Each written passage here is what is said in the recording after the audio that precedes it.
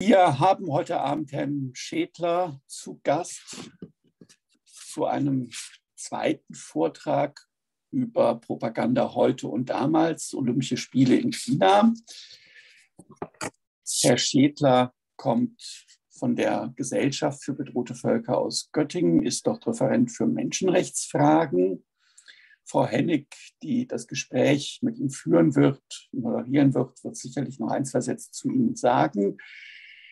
Aufgebaut wird es heute so sein, dass Herr Schädler ungefähr 30 bis 40 Minuten einen Impulsvortrag geben wird.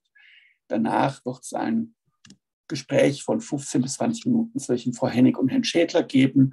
Und dann öffnen wir die Runde auch zu Ihnen hin, selbstverständlich. Ich freue mich auf den heutigen Abend, freue mich auch, dass ich Herrn Markus Müller mal jetzt auch im Bild vor mir sehe nach unseren ganzen Telefonaten und übergebe kurz an ihn, da er unser Kooperationspartner bei der Friedrich-Naumann-Stiftung ist. Und von mir, wie gesagt, einen schönen, spannenden Abend.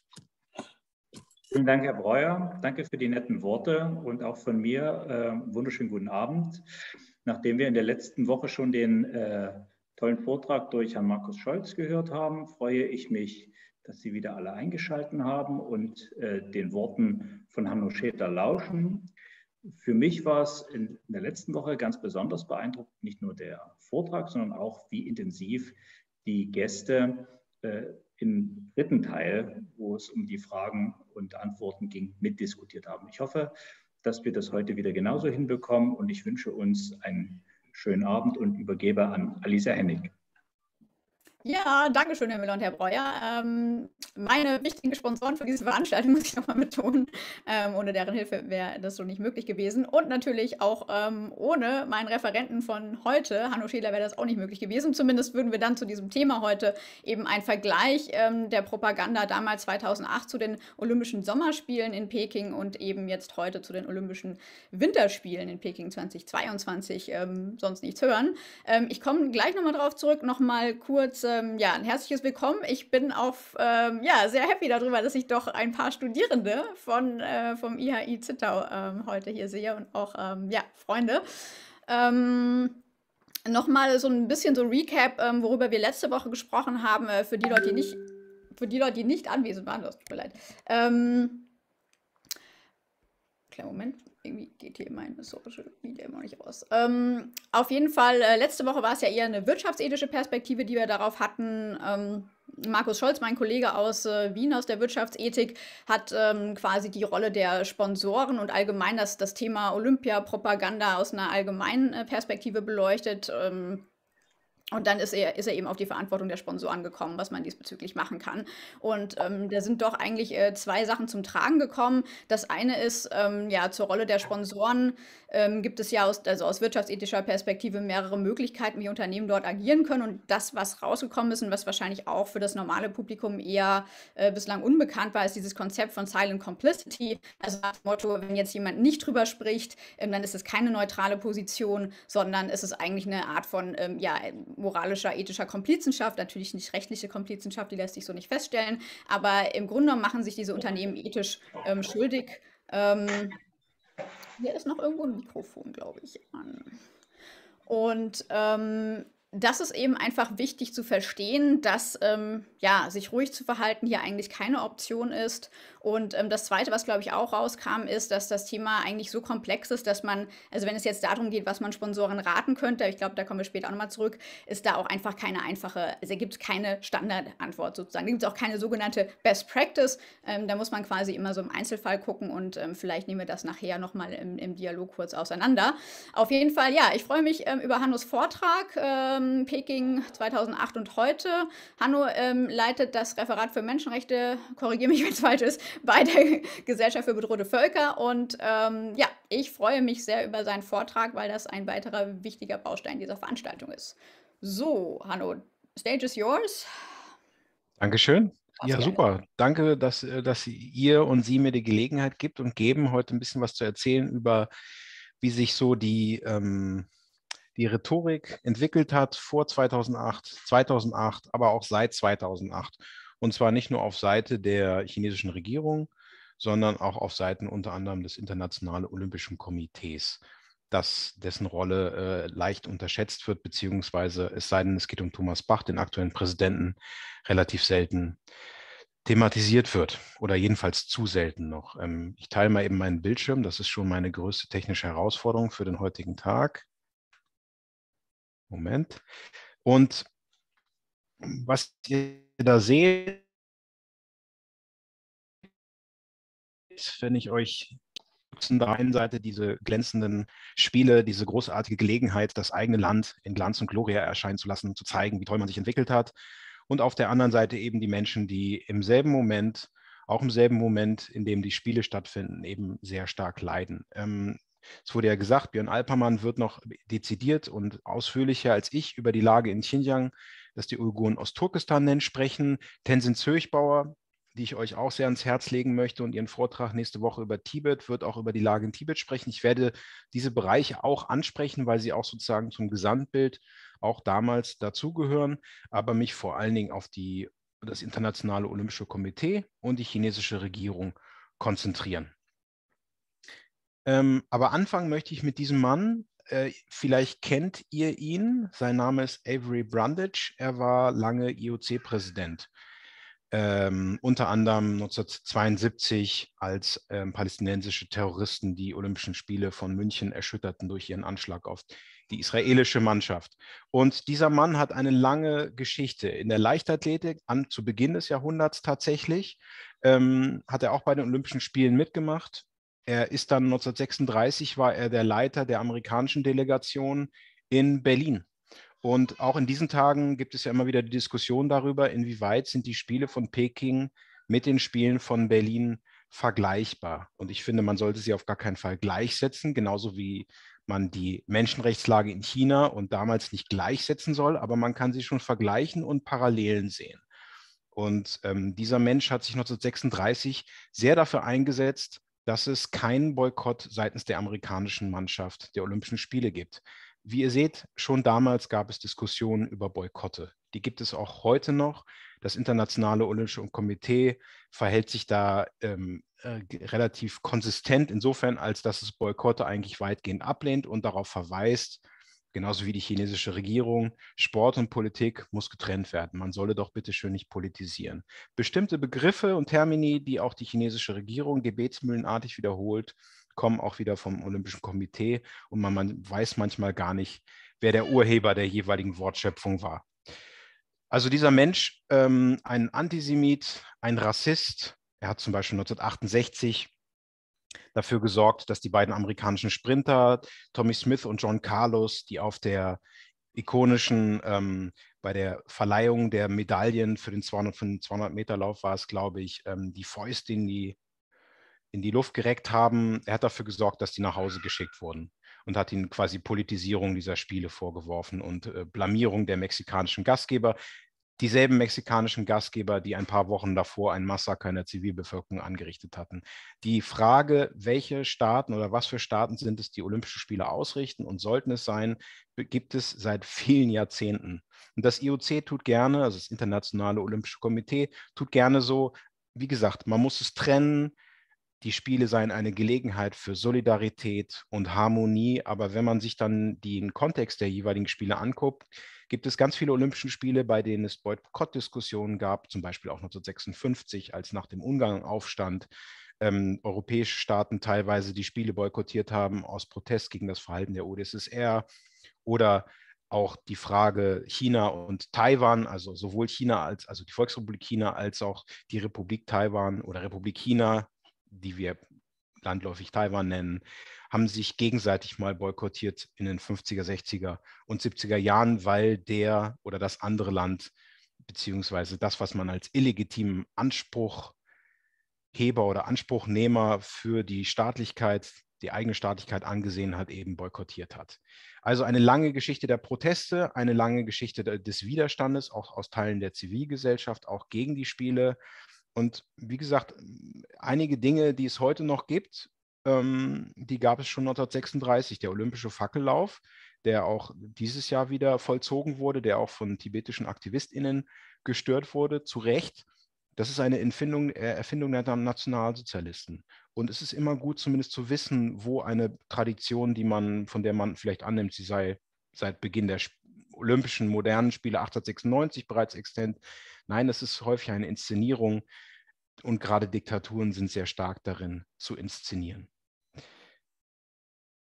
Wen sehen wir hier? Wir sehen einen weiteren IOC-Präsidenten, nämlich Juan Antonio Samaranch. Es ist der dritte von links und man erkennt ihn daran, dass er wie die anderen, dass er im Gegensatz zu seinem Nachbarn auf der linken Seite den Arm zum faschistischen Gruß hebt. Das ist aus dem Jahr 1974. Er war Sportminister unter Franco und hat sich nie vom Faschismus distanziert, was aber kein Problem war fürs Internationale Olympische Komitee, dem er über 20 Jahre vorgesessen hat. Er war ganz wichtig darin, und instrumental für die chinesische Regierung, diese Spiele 2001 endlich für 2008, für die Sommerspiele nach China zu holen. Sein Sohn spielt immer noch eine sehr wichtige im heutigen Internationalen Olympischen Komitee und sein Sohn leitet auch die Samaran Stiftung, die in China sehr aktiv ist. Als es 2018 immer mehr Berichte über massive Menschenrechtsverletzungen und Internierungen von Uigurinnen und Kasachinnen und Kirgisinnen gab, da hat die Samaran Stiftung ein, äh, ein Benefiz-Fußballturnier in der Region Xinjiang, kann man auch Ostturkestan nennen, so wie die Uigurinnen, Kasachinnen das machen, organisiert, weil China und die Samaran Stiftung und die Familie Samaranch sind sehr, sehr gute Freunde. Und das sind Kontinuitäten, die bis heute halten. Also der, einer der olympischen Ausrüster, dessen Name mir gerade entfallen ist, eine chinesische Firma bezieht ihre Baumwolle aus der Region Xinjiang, obwohl bekannt ist, dass dort schwere und schwerste Menschenrechtsverletzungen verübt werden. Und was so ein Land wie die Volksrepublik China braucht als Diktatur, aber natürlich wie viele andere Länder auch, sind Freunde aus dem Ausland. Und die Familie Samaranch, wie gesagt, eine Familie mit faschistischen Wurzeln, ist da, kommt da sehr gelegen. Waren die Spiele immer unpolitisch? Natürlich waren sie es nicht. Und es gab auch eine Zeit, wo das Internationale Olympische Komitee anerkennen musste, dass man aufgrund einer der innenpolitischen Lage eines Landes dieses Land nicht zu den Olympischen Spielen zulassen konnte. Und das war zwischen 1964 und 1988 im Falle von Südafrika so. Auf Druck von den gerade dekolonisierten jungen afrikanischen Staaten hat das Internationale Olympische Komitee es nicht zugelassen, dass Südafrika von den Spielen, äh, an den Spielen teilnehmen durfte. Natürlich auch gegen den Widerstand des damaligen schon erwähnten IOC-Präsidenten Brundage, aber die, die Rechnung war, die Kalkulation war dann so, wenn so viele Staaten drohen, diesen Spielen fernzubleiben, okay, dann lassen wir halt Südafrika außen vor. Und Südafrika durfte erst nach der Transformation oder nach der, wenn man so will, Wende, nach der Freilassung Nelson Mandelas und dem Ende der offiziellen Apartheid-Politik 1992 wieder an den Olympischen Spielen teilnehmen. Aber wie gesagt, es ist mir wichtig, das zu zeigen. Ihr fragt euch vielleicht, warum wird so, warum wird hier über die ferne Vergangenheit gesprochen? Debatten um Politik und Sport und was ist politisch und was darf politisch sein und was muss thematisiert werden, hat es immer gegeben. Jetzt kommen wir schon ins 21. Jahrhundert. Der damalige IOC-Präsident Jacques Rogge sagte 2001, 2001 wurde entschieden, welches Land bekommt die Olympischen Sommerspiele 2008 in Bezug auf die Menschenrechtslage in China. Zitat, die Austragung der Spiele werden viel für die Verbesserung der Menschenrechte und der sozialen Beziehungen in China tun.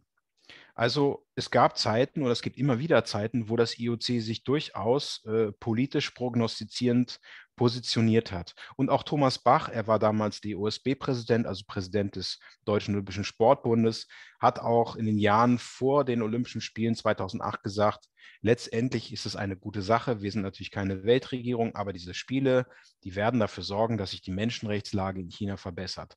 Was im Umkehrschluss eben auch heißt, 2001 gab es bereits intensive Diskussionen, ob man diese Spiele nach China vergeben sollte.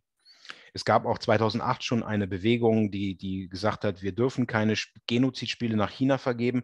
Damals, das war angeführt von der amerikanischen Filmschauspielerin und Aktivistin Mia Farrow, ging es vor allen Dingen um Chinas Verhalten in Sachen Darfur, also der Völkermord im Westen oder im Nordwesten des Sudan und Chinas Unterstützung für das verbrecherische Regime von Omar Hassan al-Bashir.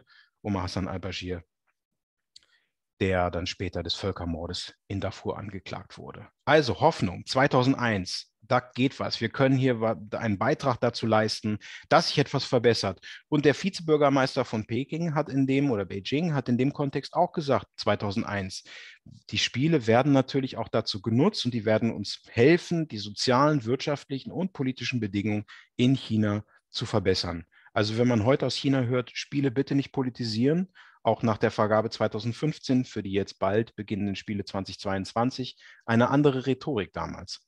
Ich kann mich noch erinnern, ich war im, im Sinologiestudium 2001, ich habe in Trier studiert.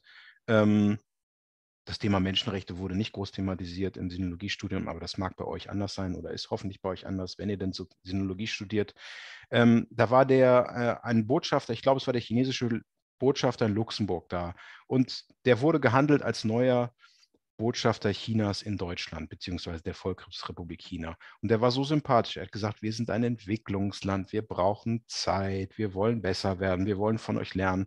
Und wir jungen, naiven, wenn ich das im Nachhinein so sagen darf, Sinologiestudenten und Studentinnen dachten, oh, das ist so sympathisch, toll, super. Aber das ist die chinesische Regierung, genauso wenig wie ihre Repräsentanten in der ganzen Welt, äh, nicht wirklich ernst gemeint hat mit einer Verbesserung der Menschenrechtslage in China. Das hat sich dann natürlich in den Jahren darauf und vor allen Dingen auch 2008 gezeigt. Aber jetzt nochmal ein Zitat von Thomas Bach aus dem August. Die Spiele werden zu einer Öffnung beitragen und damit den Menschenrechten dienen.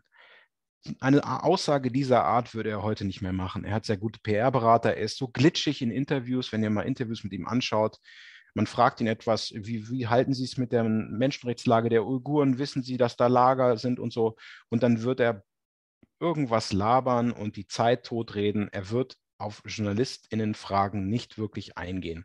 Und das kennzeichnet für mich ähm, seine bisherige Amtszeit. Er ist seit 2013 IOC-Präsident und es geht ihm aus unserer Sicht vor allen Dingen darüber, die Kohle durch Fernseh, die Vergabe von Fernsehlizenzen zu verdienen und große Sponsoren an Land zu ziehen. Und die Menschenrechtslage ist ihm, wenn ich das so sagen darf, Entschuldigung, scheißegal. Es interessiert ihn nicht. Und wenn es ihn interessiert, dann kann er nachts nicht schlafen, aber davon kriegt man nichts mit. Er macht einen sehr mit sich selbst zufriedenen Eindruck. Aber immerhin 2008 diese Aussage. Ja, und was war dann während der Spiele?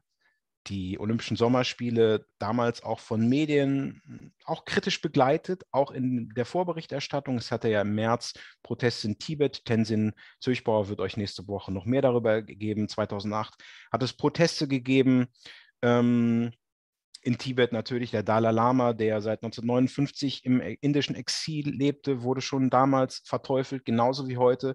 Und ich habe hier ein Foto, auf der rechts seht ihr zwei ältere Chinesinnen, die eine ist 77, die eine ist 79 und die haben etwas beantragt, was einige andere auch beantragt haben, insgesamt 77, nämlich die chinesische Regierung hat gesagt, Natürlich, wir sind ja eine super Regierung und wir lassen hier eine relative Meinungsfreiheit zu. Das heißt, es gibt nicht nur eine offene Berichterstattung vor JournalistInnen, sondern die Menschen können in sogenannten Protestzonen protestieren.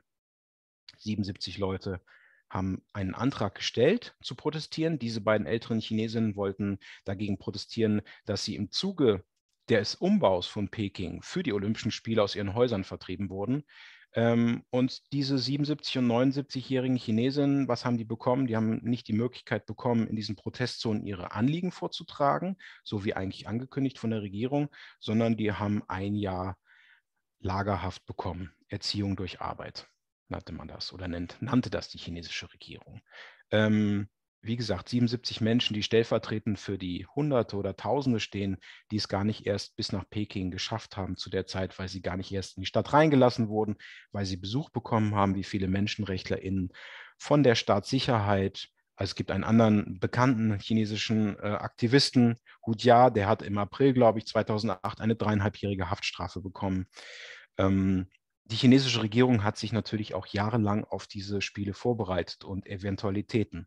Und sie wusste auf der einen Seite, wir haben ihr diese Zusage gemacht, die internationalen Medien dürfen frei berichten, was sie dann letztendlich doch nicht wirklich frei tun konnten. Es gab auch viele Übergriffe, wie Reporter ohne Grenzen damals berichtete, auf ausländische JournalistInnen. Chinesische JournalistInnen haben zwei Jahre vor Beginn der Eröffnungsfeier die Order bekommen, über was sie berichten dürfen und was nicht. Das war alles sehr gut vorbereitet. Aber natürlich, das war eine andere Zeit. Die Welt hat sehr interessiert darauf, wie sich China entwickelt hat und wie sich China so präsentiert bei den Spielen 2008 gezeigt. Auf der einen Seite, wie schon gesagt, kritische Berichterstattung, viele Hintergrundberichte über Tibeterinnen und Uigurinnen und Menschenrechtsverteidigerinnen. Aber was für mich zählt, und das werden auch die kommenden Wochen zeigen, oder da werde ich auch genau hinschauen, wie viele andere, was passiert denn, wenn die ganzen kritischen Dokumentationen, die vor den Spielen gezeigt werden, was ist, wenn die Spiele dann losgegangen sind? Wie ist dann die Berichterstattung? Da bin ich sehr gespannt, wie unsere öffentlich-rechtlichen das machen werden, wenn sie zwölf oder 16 Stunden von den Olympischen Winterspielen berichten, ob da noch Platz ist für das Thema Menschenrecht. Also nicht uns, nur unsere Politiker und Sponsoren und natürlich auch das Internationale Olympische Komitee haben eine große Verantwortung, sondern auch unsere Medien. Und deren Arbeit ist natürlich in den letzten Jahren in China immer schwieriger geworden. Das ist ein weiterer Petitionär, diese Zungen. Er wurde damals zu einer Haftstrafe verurteilt. Ich glaube, es waren drei Jahre. Daraufhin war er immer wieder in Haft. Ähm, dieses Jahr ist, glaube ich, dieses Foto ist aus dem Jahr 2019. Kurz darauf ist er an einer unbehandelten Krebserkrankung gestorben. Eine der Strategien oder der Taktiken der Bekämpfung von Menschenrechtsaktivistinnen in China ist eben auch, dass man, äh, wenn sie medizinische Probleme haben, ihnen nur bedingt hilft, sodass sie dann auch in Haft sterben oder wie im Fall von Liu Xiaobo, dem Nobelpreisträger, dann vielleicht aus der, aus der engen Haft rausgelassen werden, aber zumindest das Land nicht verlassen würden. Wenn ich da einen aktuellen Fall berichten darf, es gibt einen chinesischen Menschenrechtler, der wollte seine todkranke Frau in den USA besuchen. Er war in den letzten Jahren auch immer wieder verschwunden. Und statt dass die chinesische Regierung ihn zu seiner Frau in die USA hat fahren lassen, damit sie sich noch einmal sehen können, hat sie ihn verschwinden lassen. Dieses Verschwinden lassen ist ein, ein Phänomen, über das immer wieder mal berichtet wird, irgendwie, das aber ja, aus meiner Sicht noch stark unterrepräsentiert ist, auch in der Berichterstattung von ausländischen Medien. Das hat die chinesische Regierung während der Olympischen Winter äh, der Sommerspiele 2008 gemacht. Ähm, keine freie Berichterstattung, Einschüchterung von Menschenrechtsaktivistinnen, Niederschlagung, blutige Niederschlagung von Unruhen in Tibet. Aus der Region durften dann JournalistInnen auch nicht mehr frei berichten. Die Spiele haben nicht zu einer Verbesserung der Menschenrechtslage geführt. Jedenfalls nicht, wenn man Menschenrechte auch so definiert, dass eben auch politische, bürgerliche Rechte, also das Recht, seine Meinung zu sagen, sich zu versammeln, wenn man das darunter definiert. Wie es eigentlich allgemeiner Standard ist. Aber wie wir wissen, da komme ich später noch drauf, die chinesische Regierung hat ein großes Interesse daran, dass diese Definition der Menschenrechte international sich ändert und nach ihrem Gusto verändert wird. Bevor ich dieses Zitat von Thomas Bach aus dem Jahr 2018 vorlese, ähm, der damalige IOC-Präsident Rogge, der statt dann die chinesische Politik gegenüber 77 und 79-jährigen Chinesinnen, die zu Lagerhaft verurteilt werden, zu kritisieren hatte, hat gesagt, es waren tolle Spiele. Das IOC hat das Verhalten der chinesischen Regierung nicht kritisiert. Genauso wenig wie die Sponsoren.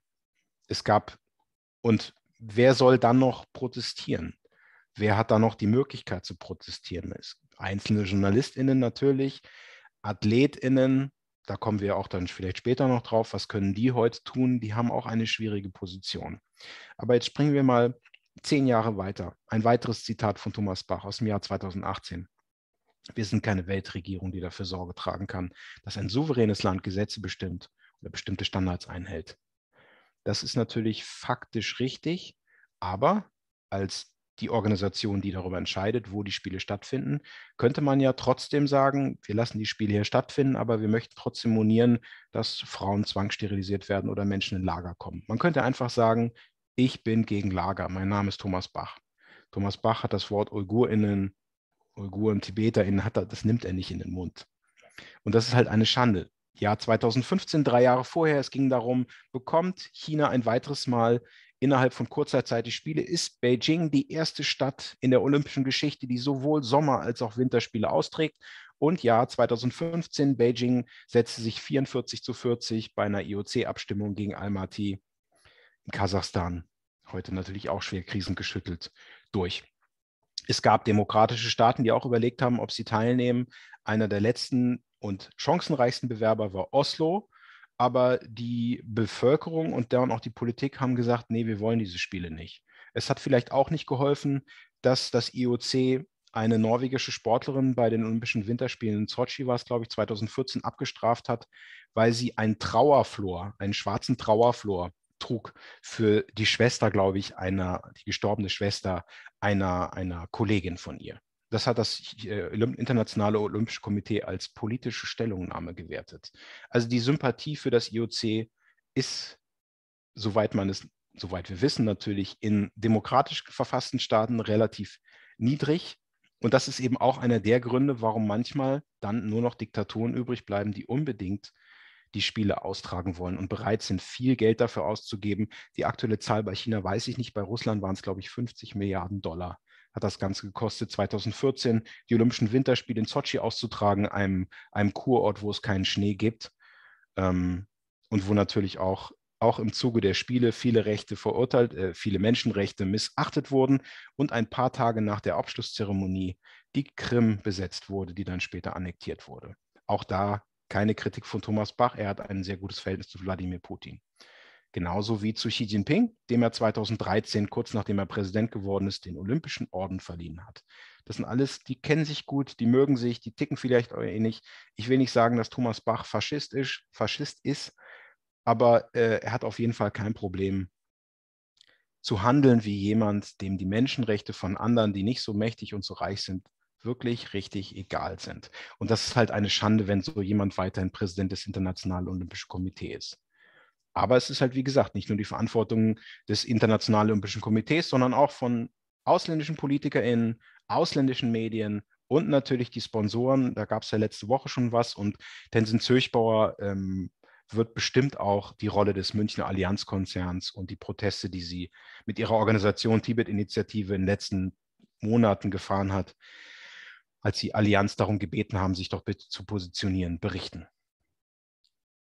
Ähm, ja, und plötzlich sagt der Menschenleben haben Vorrang, vor allem auch vor der Durchführung der Spiele. Ist jetzt alles gut geworden? Nein, März 2020, Beginn der Covid-19-Pandemie. Thomas Bach muss begründen, warum die Spiele in Tokio, die Sommerspiele, ein Jahr verlegt werden. Aber dieses Zitat ist bei mir hängen geblieben irgendwie, weil ich es eigentlich ziemlich gut finde und man es eben auch auf andere Kontexte als die Corona-Pandemie ummünzen kann, nämlich zum Beispiel darauf, dass ein Land keine Spiele austragen sollte, in dem es Lager gibt, in dem Menschen massenhaft inhaftiert sind oder in dem Mönche und tibetische Nonnen gefoltert werden. Ja, wie hat sich denn die Situation der Menschenrechte seit 2008 verändert? Xi Jinping ist 2012 an die Macht gekommen. Ähm, schon vorher hat es eine Verschlechterung der Menschenrechtslage geben, noch unter dem damaligen Staats- und Parteichef Hu Jintao, der 2012 dann abgetreten ist. Hier seht ihr Liu Xiaobo und seine Frau Liu Xia. Liu Xiaobo, der Verfasser oder einer der Verfasser der Charta 08, die Ende des Jahres 2008 in China veröffentlicht wurde und natürlich auch weltweit großes Aufsehen erregt hat. Mehr Pluralismus, mehr Demokratie, mehr Rechtsstaatlichkeit und keine Überraschung, die chinesische Regierung hat ihn weggesperrt. 2009 zu lebenslanger Haft, nee, Entschuldigung, zu, hm, ich glaube, es waren zwölf Jahre Haftstrafe verurteilt.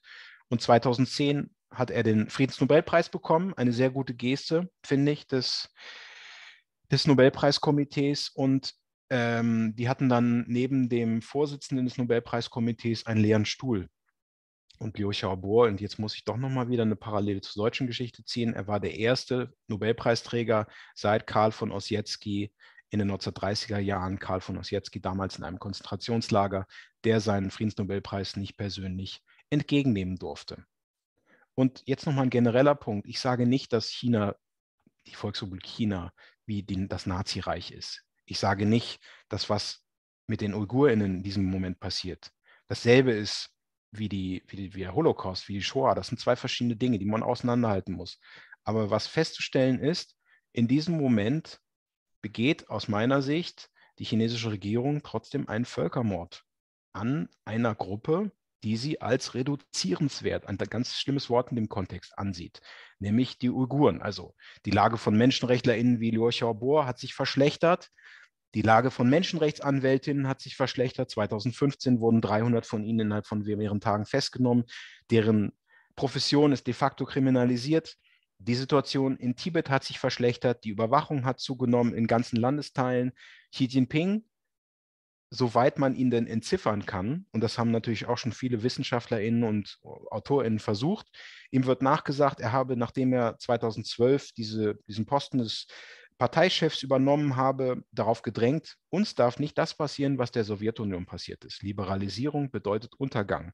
Und dann hat er, so sagt man, ähm, Dokumentarfilme, also in Anführungsstrichen produzieren lassen, die dann Parteikadern gezeigt wurden über, über den Untergang der Sowjetunion. Und für ihn hieß es eben auch, wir dürfen hier die Zügel nicht aus der Hand geben, wir dürfen keine Liberalisierung im Bereich der Menschenrechte, der politischen Partizipation zulassen. Und das haben äh, Millionen Menschen in China zu spüren bekommen. Und wenn ich jetzt noch etwas weitergehe, ähm, das, was diesen Menschen 2013, 14 passiert ist, ebenfalls stellvertretend für das, was später noch schlimmer werden sollte. Vielleicht kennen ihn einige von euch, das ist Ilham Tohti. Das ist jemand, ein Wirtschaftsprofessor, der viele Freunde auch unter anderen Ethnien, also auch unter der Han-Mehrheit hat, ein Uigure, der in Peking Wirtschaft gelehrt hat, der sich kritisch mit der Politik der chinesischen Regierung in Xinjiang, Ostturkestan befasst hat und gesagt hat, okay, wenn wir hier wirklich dauerhaft zusammenleben wollen, dann müssen wir aufhören, dann muss der chinesische Staat aufhören, UigurInnen schlechter zu behandeln, schlechtere Jobs erlangen zu lassen, ihnen mehr Bildungsmöglichkeiten geben. Es muss einfach mehr Teilhabe geben. Und er war kein Separatist. Das ist ja auch ein sehr gern genutzter Vorwurf der chinesischen Regierung. Wenn jemand mal kritisch ist, dann ist er, wenn er Angehöriger einer Minderheit, die an der Peripherie lebt, dann ist, wird er schnell Separatist genannt oder Terrorist. Also Ilham Tohti war kein Terrorist. Er wollte auch nicht, dass sich die Region von China abspaltet. Er wollte einfach die Gründe dafür liefern oder die Analyse dafür liefern, warum es diese Spannungen zwischen verschiedenen Bevölkerungsgruppen gibt und er hat Vorschläge gemacht, wie man das ändern kann. Er hat mehrere Internetportale aufgebaut, die einem Dialog dienen sollten. Und jetzt könnte man denken, boah, das ist ja ein super Typ, das ist ja eine Brücke zwischen verschiedenen Gruppen. Und was macht die chinesische Regierung? Sie verurteilt ihn im Jahr 2014 zu lebenslanger Haft wegen Separatismus. Und das wurde natürlich dann auch im Fernsehen gezeigt. Diese Zwangsgeständnisse im Fernsehen sind Taktiken, die es in China auch schon vor 50 Jahren gab das haben sie wahrscheinlich von der Stalin-Sowjetunion aus 1930er Jahren übernommen, diese öffentlichen Selbstbeschuldigungen und Geständnisse. Auf jeden Fall Ilham Tohti, statt ihm sozusagen eine Brücke, die Brücke bauen zu lassen, hat man die Brücke abgerissen und damit auch gezeigt, so ein bisschen gezeigt, wie man in den nächsten Jahren mit den UigurInnen umgehen möchte. Als nächstes seht ihr seine, nee, ihr seht nicht seine Tochter. Seine Tochter Jawar hat 2019 den Sacharow-Preis des äh, Europaparlaments entgegengenommen für ihn. Sie ist 2013 noch rechtzeitig nach, in die USA gegangen. Er wollte eigentlich mit ihr gehen, aber ist am Flughafen festgehalten worden. Ja, und er ist in lebenslanger Haft und seit ein paar Jahren weiß man nicht, wie es ihm geht. Und was passiert, wenn einer der bekanntesten Intellektuellen einer Gemeinschaft auf diese Art und Weise behandelt wird? Ja, also im Falle der Uigurinnen muss man wirklich sagen, das war sozusagen der Vorbote für noch schlimmere Dinge. Und eine Sache, äh, Björn Alpermann, wie gesagt, der wird ja noch ausführlicher über die Lage und den Hintergrund in Xinjiang sprechen, aber ich möchte euch trotzdem eine Frau präsentieren. Das ist Kalbinur Siddiq. Sie ist eine ethnische Usbekin. Es gibt ungefähr 15.000, soweit ich weiß, UsbekInnen in der Region Xinjiang, Ostturkestan. Also auch dort nochmal wirklich eine kleine Minderheit. Die wurde gezwungen, als chinesische Lehrerin in einem der Lager zu arbeiten. Und ich möchte euch, wenn es für euch okay ist, einen kurzen Ausschnitt vorlesen aus dem, was sie berichtet. Wenn ich es jetzt finde.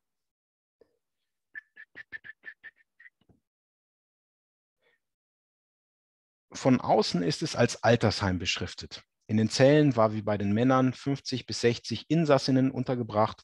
Auf dem Boden war circa 30 Meter breites Holz verlegt, auf dem sie schliefen. In jeder Zelle gab es einen Bereich mit einer kleinen Schutzwand, hinter der ein Eimer stand. Sie spricht über Frauenlager. Dieser wurde als WC benutzt. Weil der Eimer nur einmal am Tag geleert wurde, war der Gestank kaum auszuhalten. Im Korridor gab es eine Dusche. Die Frauen durften sie alle 15 Tage einmal für 15 Minuten nutzen.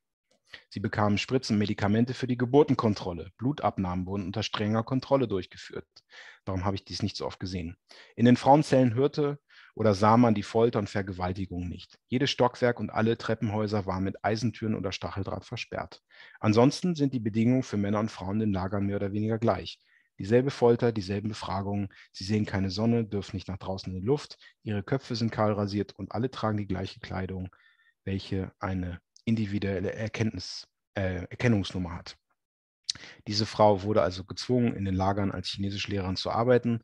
Sie hat noch rechtzeitig, bevor sie selber sozusagen als Insasse ins Lager kam, die Flucht in die Niederlande, wo sie heute lebt, geschafft. Wir haben letztes Jahr mit ihr mehrere Veranstaltungen gemacht und anderen Organisationen zusammen und würden das gerne, wenn es die Corona-Zahlen zulassen, wiederholen, denn ähm, es ist einfach beeindruckend, so eine Frau, die solche schlimmen Dinge erlebt hat, zu treffen, sich anzuhören, was sie berichtet über das, was sie erlebt hat ähm, und es ist natürlich auch ein Anliegen für uns, dass sie, es war ein Anliegen für uns, dass sie Sponsoren trifft. Und so haben wir gemeinsam mit anderen Organisationen im Oktober letzten Jahres ähm, den Münchner Allianzkonzern angeschrieben, der auch einer der Hauptsponsoren der Olympischen Spiele ist, und haben gebeten, wir haben natürlich draußen demonstriert, wie man das so macht als Menschenrechtsorganisation.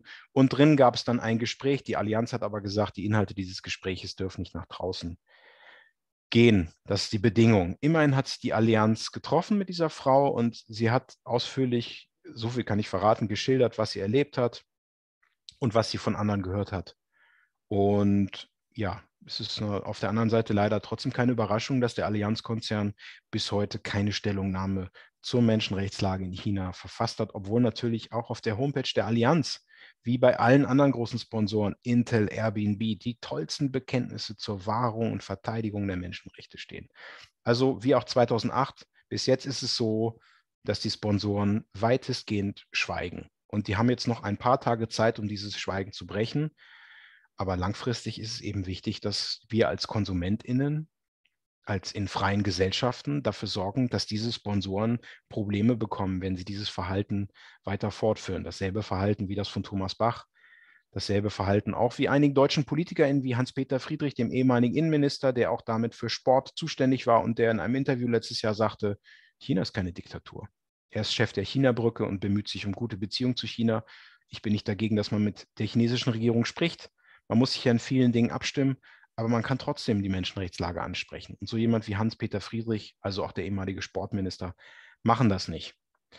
Deswegen sind unsere, ist unsere aktuelle Koalition umso mehr gefordert, tatsächlich ähm, mindestens, ist ja trotzdem nur eine kleine Geste, einen diplomatischen Boykott zu fordern und nicht, wie Frau Baerbock das gemacht hat, zu sagen, meine persönliche Entscheidung, ich fahre nicht hin, aber das möchte ich nicht als politischen Boykott verstanden wissen. Das ist jetzt wirklich eine Zeit, da geschehen so ungeheuerliche Dinge, dass seit 2017 mindestens 1,5 Millionen UigurInnen, KasachInnen, Kirgisinnen in diesen Lagern sind oder waren. Oder jetzt Zwangsarbeit leisten, dass Frauen massenhaft, ich will nicht zu viel vorweggreifen von Jörn Alpermann, zwangssterilisiert werden, dass die Geburtenrate drastisch zurückgegangen ist in den uigurisch dominierten Gebieten der Region. Obwohl die Geburtenrate der Han-Chinesen deutlich besser aussieht. Also es sich um einen gezielten Versuch der chinesischen Regierung handelt, eben diese Bevölkerungsgruppe in ihrer Zahl zu reduzieren. Und zu diesen Verbrechen wird geschwiegen seitens der Sponsoren, seitens von Thomas Bach. Das ist schon bemerkenswert in negativer Hinsicht. Deswegen protestieren wir, könnt ihr euch ja vorstellen, immer wieder am 4. Februar, wenn ihr in Berlin seid und es ist ein, werden wir wieder auf dem Pariser Platz stehen und dagegen protestieren, dass diese Spiele einfach so stattfinden und die großen ProtagonistInnen schweigen einfach dazu. Ja, ähm, einige von euch kennen ihn vielleicht, Dorkun Isa. Er ist Präsident des Weltkongresses der Uiguren, setzt sich seit Jahrzehnten für die Menschenrechte seines Volkes ein. Sein Vater und seine Mutter, 78 und 90 Jahre, sind ebenfalls in den Lagern gestorben. Er hatte das letzte Mal vor über 25 Jahren Kontakt mit ihnen, bevor er China verlassen musste aufgrund seines Aktivismus.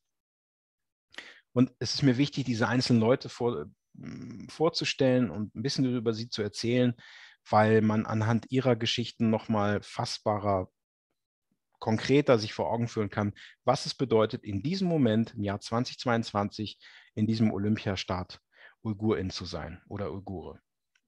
Ich wage zu prophezeien, dass Thomas Bach ab dem frühen Morgen des 21. Februar 2022, also dem Tag nach der Abschlusszeremonie, sagen wird, wir haben neue Vergabekriterien. In Zukunft wird es total um Menschenrechte gehen.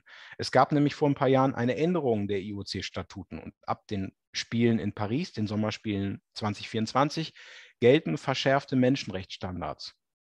Das heißt, ich möchte, ich bin mir ziemlich sicher, dass Thomas Bach und seine PR-BeraterInnen sagen werden, ah, wir, wir haben jetzt ein bisschen daraus gelernt, nein, das wird jetzt anders. Aber wie gesagt, es kommt in diesem Moment darauf an, dass man das, was jetzt in diesem Moment in China passiert, kritisiert und nicht einfach abwartet, bis diese dann doch sehr unangenehmen Spiele endlich vorbei sind.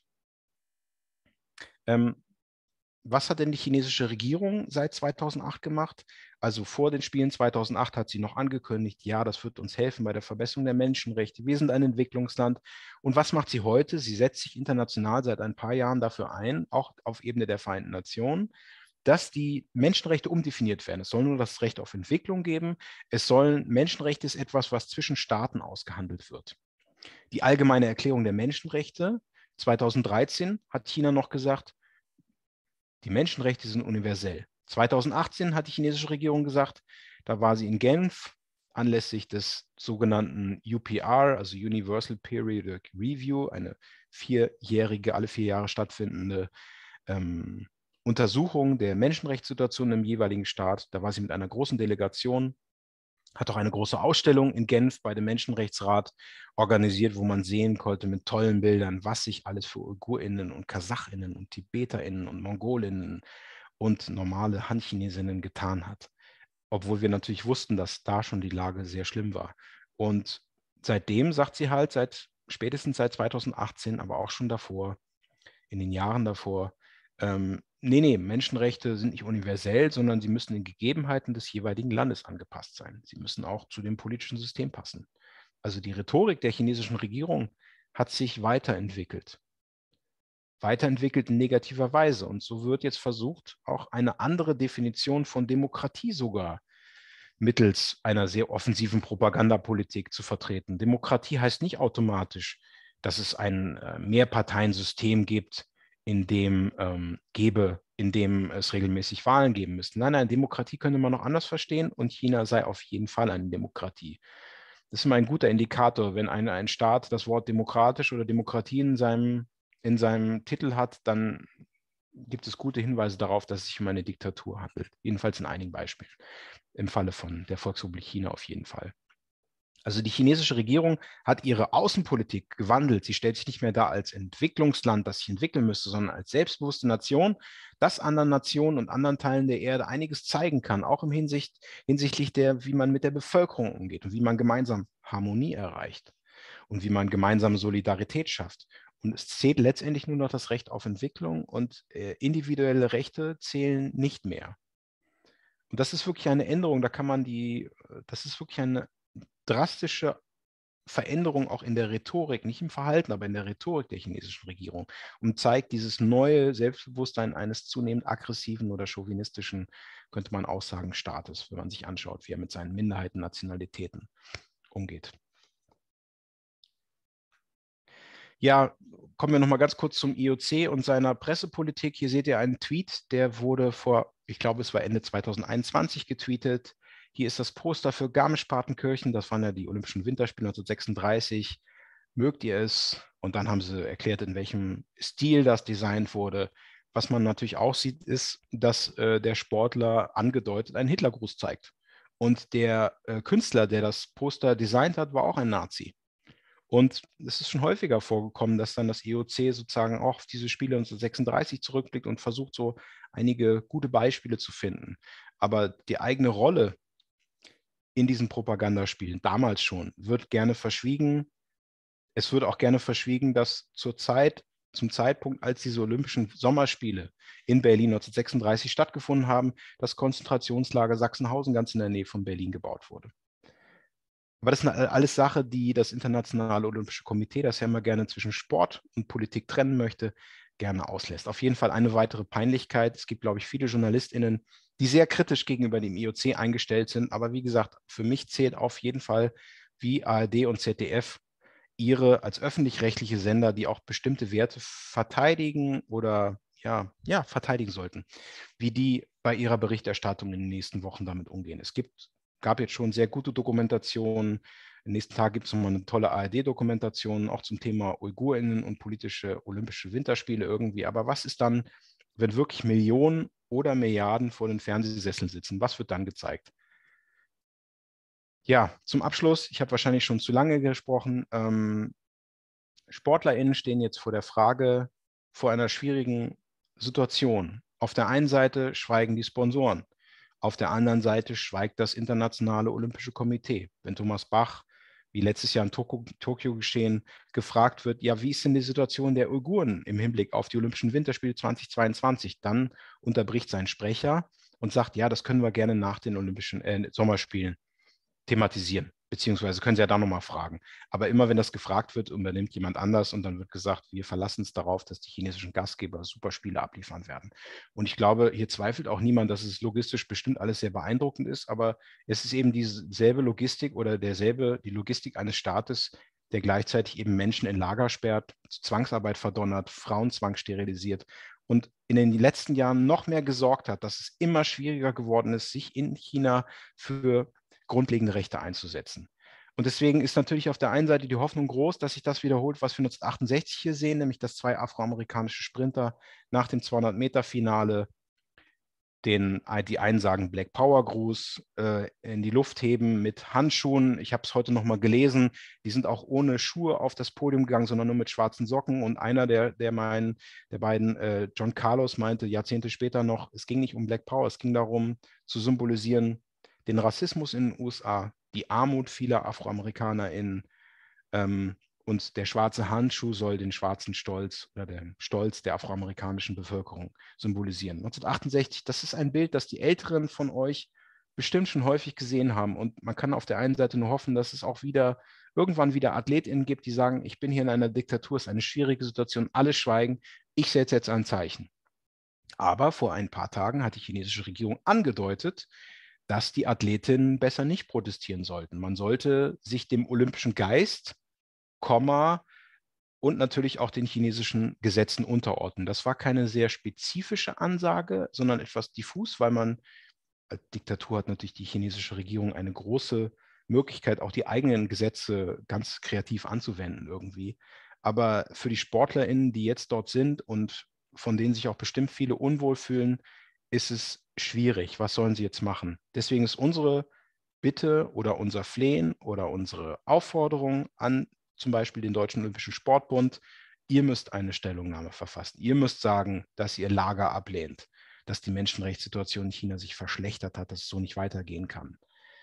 Natürlich müssten auch die Sponsoren was tun. Und ich glaube, die Sponsoren, die haben ja mehrjährige Verträge mit dem Internationalen Olympischen Komitee.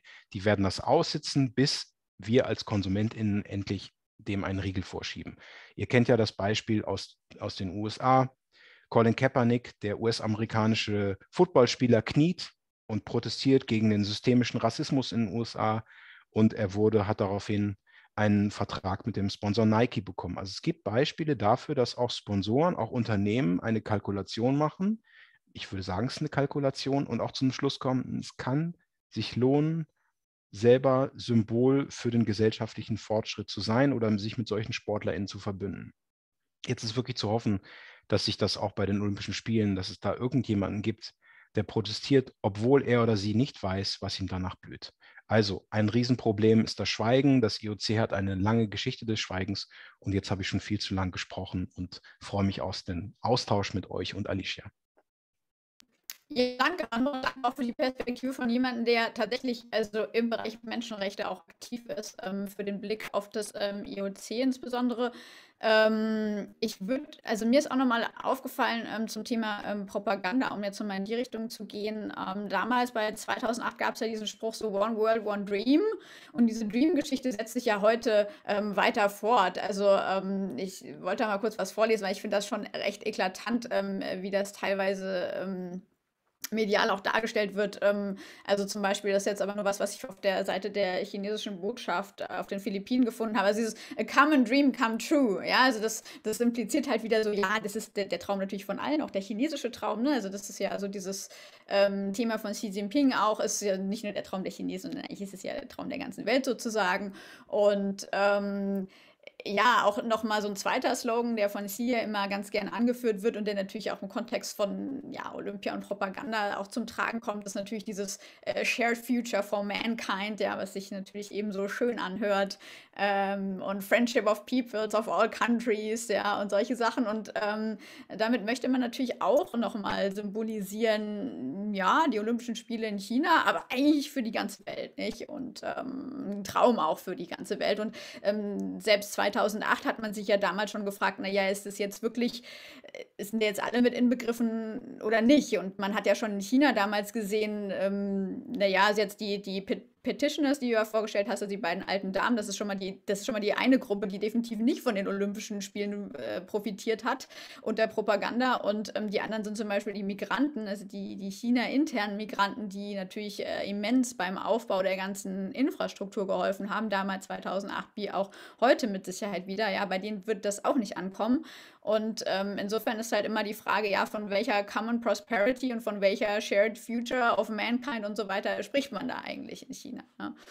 Ähm, ja, ich habe noch mal ein paar Fragen für dich, wobei einige waren auch schon fast so ein bisschen ähm, ja, beantwortet worden während eines Vortrags. Ähm, ach so, genau. Und noch ein, ähm, ich hatte, ähm, ich hatte letztes Mal was von Jimmy Lai gelesen. Für die Leute, denen Jimmy Lai kein Begriff ist, der hatte in Hongkong ähm, ja eine, ein wichtiges Magazin ähm, und ähm, Apple Daily nannte sich das und es herrschte ja bis, zum, bis vor zwei Jahren, glaube ich, ungefähr in Hongkong ja noch die normale übliche Meinungsfreiheit, kann man so sagen, bis dann ja das, die chinesische Regierung ein, in gewisser Weise übergriffig wurde mit ähm, der Hongkong Security Law und so weiter und ähm, die Meinungsfreiheit jetzt ja mittlerweile in Hongkong massiv ähm, eingeschränkt ist. Und Dimi Lai ähm, wurde auch ähm, vor kurzem verhaftet. Aber das Interessante ist damals, 2008, wenn man sich noch Bücher dazu anschaut, die Leute waren wirklich ähm, ja, die haben wirklich gedacht, es wird sich was ändern, ja. Und auch selbst er schreibt, ja, also, aber ich habe ja trotzdem irgendwie die Zuversicht, dass, äh, ne, das wird irgendwie ein Katalysator oder es wird sich was ändern und so weiter. Und ähm, auch teilweise, ähm, ich hatte noch ein Statement von jemand anderem gelesen, der damals sogar beim Tiananmen, also beim Platz des himmlischen Friedens, ähm, bei dieser, man, man kann es Massaker nennen, aber grundsätzlich ist einfach so, dass äh, damals ja 1989 ähm, diese Studentenbewegung ähm, ja militärisch und ähm, auch gewaltvoll niedergeschlagen wurde. Und auch dort, selbst von diesen Leuten, haben sich äh, damals Leute positiv geäußert, haben sie gedacht, so ja, das, ne, das, da wird sich was ändern. Ne? Und heute, 14 Jahre später, müssen wir uns halt wirklich fragen, ähm, was, ha was hat sich so geändert, was mich auch ähm, zu meiner ersten Frage irgendwie bringt. Wobei es, es gab schon erste Anklänge eigentlich in, in deinem Vortrag. Also inwieweit hat sich eigentlich so diese Menschenrechtsfrage in China verbessert oder auch verschlechtert oder im Allgemeinen einfach nur verändert. Also was für Menschenrechtsthemen siehst du heute im Fokus und welche waren damals 2008 ähm, eher so im Fokus? 2008, also ich habe mal gelesen, dass 2002 bis 2008 so eine Phase der großen Hoffnung sah, war, was die Verbesserung der Menschenrechtslage angeht. Ähm, es gab zum Beispiel ein kleines Beispiel, ein Magazin, das heißt, das hieß ähm, Yan Huang Chunqiu, das, das bezog, war ein historisches Magazin oder ein Megamagazin. Das hat sich zur Aufgabe gemacht, die chinesische, die jüngere chinesische Geschichte zu beleuchten aus der Sicht von Kadern der Kommunistischen Partei, also alteren, älteren Herren vor allen Dingen, ähm, die sanft, ganz sanft und bestimmte sensitive Bereiche aussparend bestimmte Themen versucht haben zu thematisieren. Also natürlich gibt es auch innerhalb einer Diktatur Kräfte, die eher moderat sind. Die haben meistens wenig Einfluss, aber es gibt sie. Und dieses Magazin war für viele Leute so, so ein Anzeichen dafür, dass ja vielleicht sich China so ein bisschen öffnet. Und die haben dann aber immer mehr mit Restriktionen zu kämpfen gehabt, obwohl die nie eine große Auflage hatten. Und 2016 wurde es eingestellt. Obwohl das Leute waren, die genau wussten, wir können nicht über den großen Sprung nach vorn wahrscheinlich berichten. Wir können nicht über die innerparteilichen Kämpfe der kommunistischen Partei in der Mauzeit berichten. Sie wussten schon, wie man sozusagen diese feine Linie, wie man die schreitet. Und trotzdem wurden sie zugemacht. Und das ist eben so das Merkmal unter Xi Jinping.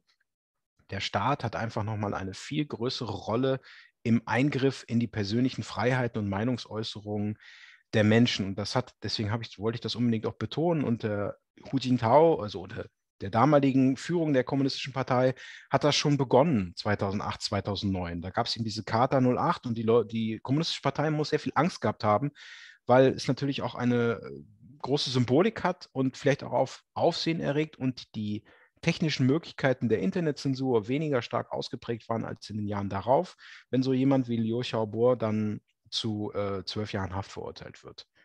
Oder wenn Menschenrechtler halt präventiv, präventiv, Besuch von der Staatssicherheit bekommen. Das heißt, es gab so eine Phase, wo man dachte, hm, vielleicht ändert sich was und diese ewige Diskussion um Wandel durch Handel, die gibt es wahrscheinlich schon seit 1340, aber sie gab es eben stärker auch 1990 oder in den 2000ern. Und dann hat sich aber Ende der 2008, 2009 gezeigt, nein, es wird schlimmer. Und die Partei lässt sich von niemandem vorschreiben, wie sie sich verändern soll. Und deswegen habe ich unbedingt nochmal dieses Beispiel von Liu Xiaobo bringen sollen, weil es so einprägsam ist, wenn da jemand dann nicht nach Oslo reisen kann. Und seine Frau ist seit ein paar Jahren in Sicherheit sozusagen, aber äh, er durfte nicht mit ihr ausreisen 2017, als bei ihm eine Krebserkrankung, die auch nicht wirklich behandelt wurde, festgestellt wurde. Also es hat sich verschlechtert. Die, die Lage der ähm, Nationalitäten, das wollte ich auch noch unbedingt sagen, ich auch vorhin schon erwähnen können, hat sich seit 2013, 14 auch insofern verändert, als dass die Kommunistische Partei ihre Sicht auf ethnische religiöse Minderheiten, gerade im Bereich der MongolInnen, TibeterInnen, Uiguren, KasachInnen, also Menschen, die auch in diesen Peripherien Chinas leben, äh, verändert hat. Und es ging nicht mehr darum, dass man sowohl die uigurische Sprache als auch Hochchinesisch lernt, Mandarin oder Putonghua, sondern dass man dann, dass es nur noch eine Nationalsprache gibt. Und die, die Putonghua wurde dann zur Nationalsprache erklärt, was man lange vorher in Taiwan gemacht hat, vielleicht auch schon. Aber seit 2014 hat das, habe ich gelesen, hat das ein amerikanischer Wissenschaftler, James Millward, der sich sehr gut in der Region auskennt, hat das thematisiert, dass seitdem es eben dieses Wort der Nationalsprache gibt und es wird eben auch nur noch oder überwiegend die, das Hochchinesische vermittelt. Und unter dem Deckmantel einer bilingualen Erziehung wird eben immer weniger Mongolisch gelehrt, immer weniger Tibetisch, immer weniger Uigurisch, was natürlich auch dann in Kombination mit Zwangssterilisierung, Arbeitslagern, Familientrennung dazu führt, dass versucht wird, eine, eine, die nächste Generation von den Wurzeln abzutrennen. Und das ist ja ein fundamentaler Wandel auch in der Sicht der Kommunistischen Partei auf die Minderheiten oder die Nationalitäten im eigenen Land. Die hat man noch viel mehr als potenzielle Widersacher gesehen, die man mit Gewalt und eben auch mit Lagern umerziehen muss. Ja, ich finde, also mit der chinesischen Sprache, Sprache Goyu ist ja dann, äh, müsste eigentlich der Ausdruck dann sein, genau, ähm, quasi so die, die Nationalsprache. Man, man wusste schon immer so, Putonghua ist die offizielle Sprache Chinas, ne? das haben wir auch quasi so gelernt, äh, ne, chinesische Sprache gelernt haben aus dem Ausland. Aber ähm, ja, dass das jetzt quasi so die einzige Sprache ist und das, ähm, ich glaube, ich hatte es jetzt bei Björn Alpermann gelesen, ähm, die chinesische Sprache ja auch als Symbol des modernen Fortschritts gesehen wird. Ja, das, das finde ich sogar noch eine Verschärfung des Ganzen. Ne? Also, das nicht einfach nur, naja, gut, dann können wir jetzt alle besser miteinander kommunizieren spazieren ja, und hier wieder schön alle zusammen und happy, sondern nein, das wird ähm, ja als Symbol des Fortschritts gewährt. Und wenn man eben nicht Chinesisch kann, dann ist man äh, rückständig in China selbst. Ja. Und das finde ich ist auch nochmal äh, ein extremer Aspekt äh, der ganzen Geschichte. Und ähm, ja, ich habe das damals auch mitverfolgt mit diesem, ähm, ich glaube, das war ein recht liberales Sprachrohr 2016, was dann einfach dicht gemacht wurde. Genau. Ähm, exakt, genau, weil der, der das ähm, angeführt hat, der wurde halt einfach, ja, so abgesägt, sozusagen, wie man, wie man das halt mhm. ganz gerne mal macht. Ähm, ich finde, ein wichtiger Hinweis ist auch wirklich nochmal, ja, es gibt natürlich, also die, die, äh, die, chinesisch-kommunistische Partei ist kein Monolith. Ne? Also da gibt es natürlich immer unterschiedliche Fraktionen. Also man weiß auch, ne, intern sind die sich auch nicht immer ganz grün, aber natürlich hat man jetzt auch gesehen, unter äh, Xi ist, ja, ich weiß gar nicht, ob Konsolidierung der richtige Ausdruck ist, aber äh, zumindest eine dominante Positionierung seiner äh, Fraktion sozusagen, ja, die natürlich auch dafür dafür sorgt, dass der innerparteiliche Diskurs, ähm, ja, glaube ich, immer weiter in den Hintergrund tritt. Und das ist natürlich auch fatal, weil wenn solche Stimmen nicht gehört werden, dann kann es natürlich auch sein, dass es zu einem gewissen Realitätsverlust dann einfach auch ähm, kommt. Und ähm, der ist jetzt auch nicht unbedingt auszuschließen über die nächsten Jahre. Aber ähm, genau, also die Menschenrechtssituation hat sich quasi nicht verbessert, die hat sich einfach nur, ähm, ja, die hat sich verschlechtert eigentlich, ne? weil wir jetzt ja. ja auch quasi von systematischen Menschenrechtsverletzungen im chinesischen Kontext sprechen. Und ähm, sie hat sich eigentlich auch nochmal in eine andere Richtung gedreht. Weil das, was wir natürlich in Xinjiang sehen, ähm, das, das hatte vielleicht in Tibet einen Vorläufer, vielleicht kann uns Tenzin dazu nochmal was erzählen, aber ähm, letzten Endes äh, nimmt das natürlich dann nochmal einen ganz anderen ähm, Grad an, finde ich einfach. Ähm, mal eine Frage zu den Medien, jetzt so Medienberichterstattung. Hast du das Gefühl irgendwie, ähm, jetzt im Vergleich zu damals, ähm, dass die negative Berichterstattung in Bezug auf China jetzt bei den Olympischen Spielen stärker ist als damals? Oder findest du sie vielleicht eher sogar schwächer und nicht ausdrucksstark genug? Oder wie wäre jetzt deine Einschätzung bei den westlichen Medien? Ja, also ich habe ich hab noch nie Studien dazu gelesen, sondern kann mich nur so dunkel an 2008 erinnern. Und wie ich mich richtig erinnere, war 2008 die Neugier auf dieses Land China sehr groß. Und äh, bei einigen Medien durchaus der Wille da, denen zuzugestehen, dass sie sich entwickeln, was ja auch die Rhetorik der chinesischen Regierung damals noch war, dass man eben auch die Spiele nutzen wolle, um sich weiterzuentwickeln, auch in Sachen Menschenrechte. Aber ich glaube, viele Medien haben dann ernüchtert zur Kenntnis nehmen müssen, dass eben die Pressefreiheit doch nicht gewährleistet war in voll, vollem Umfang. 2008, also zum Beispiel die Berichterstattung aus Tibet bei den Unruhen im März 2008 nicht wirklich gewährleistet war oder JournalistInnen belästigt wurden. Ähm, und es gab damals auch im Vorfeld schon Diskussionen, ja, können diese Spiele zu einer Verbesserung beitragen? Damals hat man immer noch über das Beispiel Südkorea diskutiert. 1988 haben die Olympischen Sommerspiele in Südkorea stattgefunden, in Seoul. Und ähm, die waren ja noch sieben Jahre vorher vergeben worden nach, nach Südkorea, als es noch eine Militärdiktatur war. Und es wird ja, wurde häufiger gesagt, dass 1987, 88 die Aussicht auf die Austragung dieser Spiele und die damit verbundene, dieser Fokus der Weltöffentlichkeit auf die Situation in dem Land dazu beigetragen hat, dass es eben zu dieser Liberalisierung gekommen ist, natürlich verbunden mit der starken Studentenbewegung auch in dem Land. Ähm, so dass man 2008 immerhin, wenn man das jetzt im Nachhinein so wohlwollend betrachten möchte, immer noch denken konnte, ja, es, es, kann, es kann nützen, möglicherweise in einiger Hinsicht, weil jetzt gibt es ja auch viel Aufmerksamkeit. Und das IOC hat auch mal gesagt, ja, es wird jetzt mehr Aufmerksamkeit geben für die Menschenrechtslage. Und Sie als Nichtregierungsorganisation können jetzt ganz viel berichten. Und natürlich wird jetzt auch in diesen Wochen relativ viel über China berichtet aber in den Medien, so wie ich das wahrnehme, genauso ernüchtert wie in der Gesamtbevölkerung, jedenfalls dem Teil, der sich für China oder die Volksrepublik interessiert. Und äh, die chinesische Regierung oder die Sicht auf die Volksrepublik China ist ja in den letzten Jahren, wenn man den Meinungsumfragen glauben darf, auch aufgrund der Menschenrechtslage ziemlich in den Keller gegangen. Man hat China vielleicht teilweise von einiger Seiten als Gegenmodell zu den zu der anderen Weltmacht, den USA gesehen irgendwie. Aber wenn es jetzt um die Frage der Menschenrechte geht, der politischen, der bürgerlichen Rechte, dann äh, sind die Medien da aus meiner Sicht auf gar keinen Fall in ihrer Mehrzahl unkritisch. Also als zum Beispiel vor ein paar Wochen ein tibetischer Dissident, der jahrelang chinesischer Haft war, in, in Berlin war. Da wird Tenzin Züchbauer bestimmt auch was erzählen dazu. Da haben relativ viele Medien über ihn und das, was er damals gemacht hat und der Nichtigkeit, während, wegen der er damals verurteilt wurde zur Haft, ähm, berichtet. Das Problem ist eben, das hatte ich ja schon gesagt, dass wenn die Spiele losgegangen sind und es dann um spektakuläre Spiele, äh, Bilder, toll vom IOC und NBC produzierte Bilder gibt, von ähm, irgendwelchen Slalomläufen oder dem Weitspringen, dann ist das, was in Erinnerung bleibt. Und auch die Frage, ob jetzt einige Staaten ihre DiplomatInnen nicht zu der Eröffnungsfeier schicken. Sie ist nicht total unbedeutend, aber sie wird im Nachhinein auch nicht viele Leute interessieren, weil es nicht das ist, was man von den Spielen behält. Wenn man an Mexiko 68 denkt, dann denkt man an John Smith und Tommy Carlos. Und ja, also auf der einen Seite, es gibt kritische Dokumentation, auch in diesen Tagen, in ein paar Tagen ARD, bestimmt sehr interessante Sache, sogar in Primetime 2015. In den letzten Tagen hat der NDR berichtet über die Verstrickung des Internationalen Olympischen Komitees mit der Samaran Stiftung, aber eben auch mit chinesischen Ausrüstern, die ihre Baumwolle aus Xinjiang beziehen, obwohl dort eben dieser Völkermord geschieht. Ähm, das heißt, es ist so ein bisschen der Frage der Gewichtung. Es gibt ganz viele kritische JournalistInnen, habe ich den Eindruck, die auch wirklich äh, den Skalp von Thomas Bach wollen, wenn ich das mal so platt sagen darf, die das, was er macht, seit Jahren sehr kritisch begleiten. Ähm, aber das sind nicht diejenigen, die ein Millionenpublikum erreichen. Und das zählt. Und deswegen ist halt wichtig, was dann im Fernsehen läuft, in dem Moment, wo nicht mehr die Dokumentationen laufen über das Land, sondern die Berichterstattung von vor Ort und hier aus Deutschland.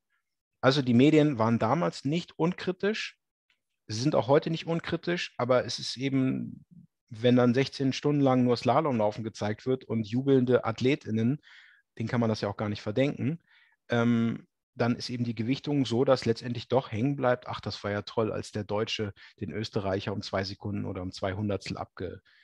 Also das ist eine Frage der, der Wahrnehmung. Und wenn man dann erdrückt wird von, von, von Bildern, die gut produziert sind, dann ist das die Sache, die hängen bleibt und eben nicht der Bericht über Zwangsarbeit in Xinjiang. Das wäre so mein als Nicht-Medienwissenschaftler und jemand, der das sozusagen nicht wissenschaftlich, sondern aus dieser aktivistischen Sicht betrachtet, so meine Einschätzung. Ja, danke dafür.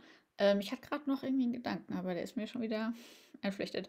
Ähm, Ach genau, ja, also ich meine, ich glaube, ein, äh, 'n weiteres Problem jetzt, äh, bei der Berichterstattung westlicher Medien zu diesen Olympischen Spielen ist ja auch grundsätzlich, dass sich die Ja. Einreise unter den Covid-Bedingungen einfach so massiv erschwert hat. Ähm, ähm, also ich meine, die Visavergabe damals, das habe ich auch noch mitbekommen, weil ich ja damals auch 2008 ähm, in China ähm, für Journalisten und so weiter war schon verschärft, obwohl man ja, wie du gesagt hast, auch vorher sagte, ja, man lässt dann mehr Journalisten ins Land. Das, das ist auch passiert. Äh, nichtsdestotrotz gab es dann auch, ähm, nachdem dann, ich glaube, die ersten Vorfälle in Tibet äh, waren, ähm, gab es dann wieder eine Verschärfung ähm, der, ja, der Bewegungsfreiheit von Journalisten und äh, der, der Visavergabe. Aber jetzt äh, sind die Karten ja nochmal ganz anders aufgestellt, weil ähm, unter äh, Chinas Zero-Covid-Strategy ist es halt allgemein schon äh, schwierig, überhaupt ins Land reinzukommen. Und äh, von dem, was ich gelesen hatte, war das wohl auch eine Befürchtung ähm, vieler Athleten, zumindest wurde das auch schon in der Sportschau so geäußert, dass ähm, dadurch, dass China andere Grenzwerte hat bei der Feststellung von, von einer Covid-Infektion, dass ja. da auch ähm, die Gefahr besteht, dass Leute halt viel schneller quasi aus ausgemustert werden aufgrund dieses ähm, ja, äh, anderen Werts, den China da festgelegt hat. Wobei ich jetzt auch kürzlich gesehen habe, also da hat man wohl doch entsprechend Druck ausgeübt und China wurde dazu veranlasst, also die Regierung den Wert doch von, von, vier, von diesem CT40-Wert irgendwie ein bisschen abzusenken, sodass der einem, einem internationalen Standard entspricht. Aber ähm, ja, das war definitiv eine Befürchtung, die auch äh, seitens der Sportler geäußert wurde. Ähm, Nochmal zum diplomatischen Boykott. Boykott. Ich meine, da gibt es ja unterschiedliche Ansichten, ja, ob das jetzt was bringt oder nicht. Ähm, ich fand, die Niederlande haben das ja recht geschickt gelöst, weil die eigentlich nicht von einem diplomatischen Boykott gesprochen haben, sondern einfach gesagt haben, naja, unsere Politiker ähm, schicken wir jetzt unter den jetzigen Covid-Bedingungen nie nach China, weil das einfach zu aufwendig ist mit der ganzen Quarantäne und so weiter. Ich finde, da haben die sich so relativ geschickt dem Ganzen entzogen und trotzdem niemanden rüber geschickt. Ähm, ja, ich komme mal zu meiner letzten Frage und dann machen wir das fürs äh, Publikum auf.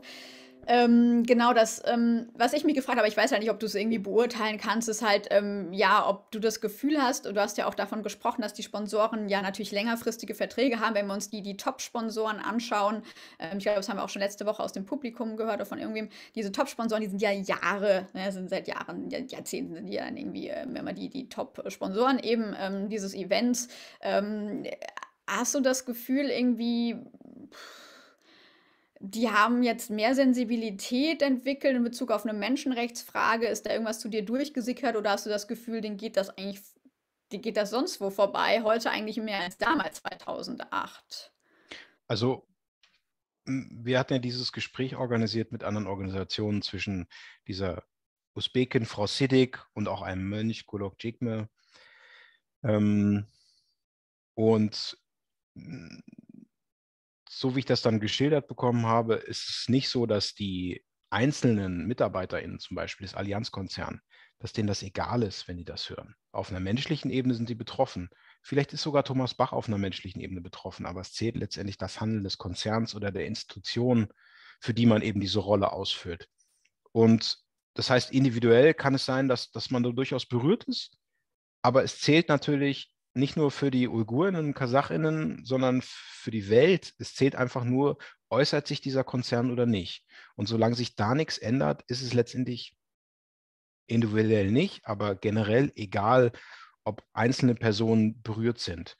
Es wird bei den Sponsoren erst ankommen, wenn sich die Konsumenten auf eine bestimmte Art und Weise verhalten. Und also dieses Beispiel Colin Kaepernick, wo sich dann der Nike-Konzern äh, entschlossen hat, wir gehen diese Kampagne jetzt voll mit und wir sind quasi die Repräsentanten von Freiheit und äh, Fortschritt. Das sind eben auch dieselben, dieselben, ähm, dieselbe Art von Unternehmen, sagen wir mal so, die in anderen Fragen halt total ruhig bleiben. Also es gibt ja auch Athletinnen und Athletinnen aus der amerikanischen Basketballliga, die, wenn es um Menschenrechte in den USA geht, sehr gute Dinge sagen. Und wenn es um China geht, dann sagt ein Manager von Houston Rockets, glaube ich, Dale Morley, Freedom for Hong Kong oder irgend sowas. Und dann sagt LeBron James, der große LeBron James, der in vieler Hinsicht ein ganz toller Typ ist, sagt, äh, der hat doch keine Ahnung, wovon er redet. I love, so, ich liebe China und äh, China ist ein tolles Land. Ähm, die Sponsoren, für die ist es wahrscheinlich, aber da kannst du ja auch was dazu sagen, eine strategisch, eine strategische Kalkulation, die relativ wenig von einzelnen Personen in dieser Institution abhängt. Also es gab ja das Beispiel der Women's Tennis Association, die im Fall von Peng Shuai der teilweise verschwundenen oder zeitweise verschwundenen chinesischen Tennisspielerinnen sehr, sehr, eindeutig geworden sind. Und auch im Gegensatz zu Thomas Bach bis heute sagen, nee, nee, solange wir nicht genau wissen, was da passiert ist, keine Turniere in China. Aber die sind, das habe ich mal gelesen, auch eben unter anderem von Billie Jean King, eine Frauenrechtlerin, eine sehr progressive, kämpferische, sportpolitisch aktive Person gegründet worden. Das war sozusagen Teil ihrer Identität. Also, ich weiß nicht, vielleicht gebe ich, geb ich die Frage einfach mal an dich zurück. Wenn du jetzt der Allianzkonzern bist oder du würdest den Allianzkonzern beraten, was, unter welchen Zwängen steht der? Ja, also ich muss mir, ich habe mir die Allianz ja nochmal ähm, genauer angeguckt, weil es gibt ähm, ähm, eine sehr gute NGO in den Niederlanden, die nimmt quasi alle Finanzinstitutionen mal ins Blickfeld, ähm, nennt sich banktrack.org.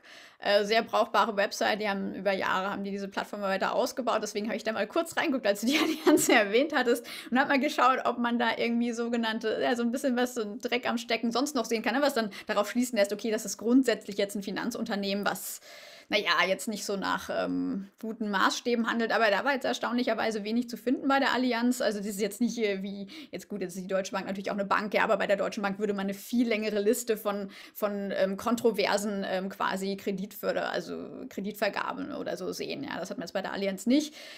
Ähm, das, das Thema ist halt, ne, also wenn du halt auch davon sprichst, glaube ich, dass Konsumenten mehr Druck ausüben müssen. Ähm, ich sehe das Problem insbesondere in der Finanzbranche, weil welche kritischen Bankkunden haben wir denn in diesem Land? Ja, also gerade, ich meine, klar, Coca-Cola kann man gut boykottieren, man kann irgendwie Textilmarken gut boykottieren, weil das trifft uns als Endkonsumenten viel stärker. Und wenn wir sowas in den Nachrichten sehen, dann sind wir da auch ähm, ja, viel interessierter und viel involvierter. Aber das mit den Banken ist halt wirklich, oder Finanzinstitutionen wie die Allianz, also Versicherung auch, ist halt noch nicht so bei uns angekommen. Und ich glaube, wenige würden sagen so, ja, die Allianz, die hat sich jetzt nicht kritisch genug bei den äh, Olympischen Spielen 2020, der schließt sich aber keine Versicherung mehr ab. Also ich glaube, ne, da ist der, das ist immer noch viel zu weit entfernt für uns Konsumenten, ne, der ganze ja. Finanzbereich. Und ich glaube, das spielt gerade in dem Kontext eine Rolle.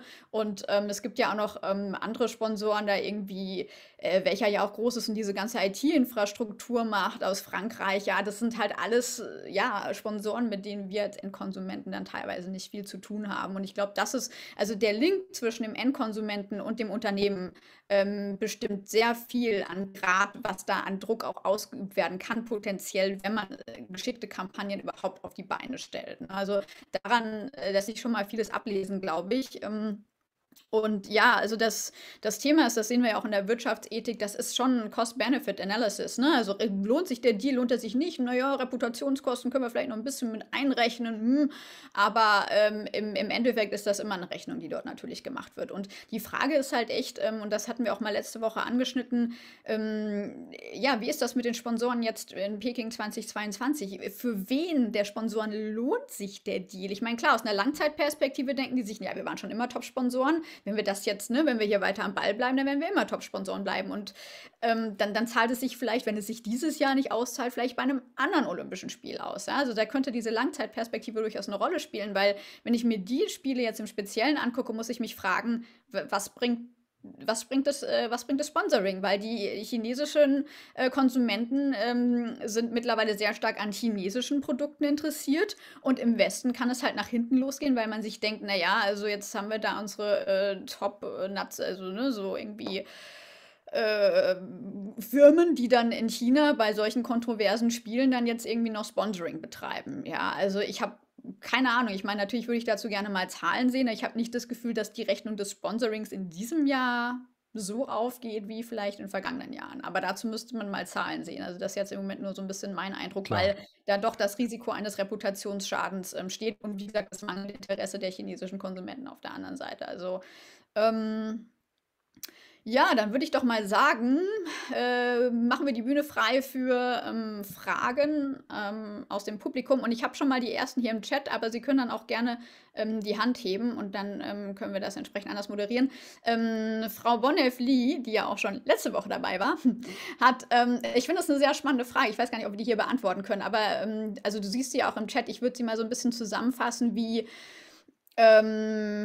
ja, ob es ob, ob Peking 22 irgendwie auch im, im Kontext von der Taiwan-Wiedervereinigung steht. Also ob es dazwischen vielleicht einen Link gibt ähm, und ob es überhaupt zu einer Vereinigung dieses Jahr kommen würde. Also es kann ja, kann ja nur eine erzwungene Vereinigung sein, wie wir wissen, aber ähm, ne, so Unification mit, mit Taiwan, ähm, ob, ob da irgendwie ein Zusammenhang zwischen den, also zwischen den Olympischen Spielen und, und da mit äh, irgendeinem Anliegen diesbezüglich in diesem Jahr bestehen könnte glaube, das ist so Ihre Frage. Mhm. Also meine erste Antwort äh, kann ich voller Selbstbewusstsein sagen, das kann ich ganz schlecht einschätzen. Meine zweite Antwort wäre, ich kenne niemanden, der es einschätzen könnte. Ähm, meine dritte Antwort wäre, ähm, ich hätte 2014 auch nicht gedacht, dass drei Tage nach Abschluss der Olympischen Winterspiele in Sochi ähm, die, der Beginn der Annexion der Krim beginnt ich hätte auch gedacht, das ist doch ein mega Reputationsverlust, dann gerade noch diese Spiele stattfinden lassen, diesen komischen Luftkurort. Also nicht komisch, aber eben nicht für Winterspiele geeignet. Und ein paar Tage später hat man sich vielleicht auf der Weltbühne so wieder ein bisschen ein paar Pluspunkte erarbeitet, dadurch, dass man vielleicht sympathische, gute Spiele und dann äh, fängt man an, die äh, Teil der Ukraine die Krim wegzunehmen. Also es ist ja klar, die, die Taiwan-Frage ist seit 1949, eine der, der großen Fragen der chinesischen Außenpolitik, ähm, ob China es wagt, Taiwan letztendlich anzugreifen. Ich finde die auch mega spannend, aber ganz ehrlich, das ist ein bisschen, ich habe mal im Studium, ich habe Politik studiert, habe ich gelernt, hat ein Professor schmunzelnd gesagt, dass man mal einen Vergleich gemacht hat zwischen der Prognosefähigkeit eines Affen und eines Politikprofessors und der Affe hat nicht schlechter abgeschnitten und deswegen würde ich sagen, es würde mich auch total interessieren. Und wenn du da eine Meinung zu hast äh, oder einen Standpunkt, würde es mich sehr interessieren, aber ich kann es nicht einschätzen. Also ich kann es auch nicht einschätzen. Ich glaube, wir könnten natürlich zu dem Thema einfach eine Münze werfen. Aber ähm, mein Gefühl ist, klar, jetzt hast du das natürlich mit der Krim erwähnt. Insofern ähm, ist das ähm, auch jetzt nicht äh, als ähm, Wettangebot anzunehmen. Aber mein Gefühl ist, 2022. Ich habe eher das Gefühl, dass da diese ganze Rhetorik noch eher weiter aufgeblasen wird, als dass eigentlich de facto was passieren wird in diesem Jahr. Aber das ist eher so mein Eindruck in Bezug auf Taiwan.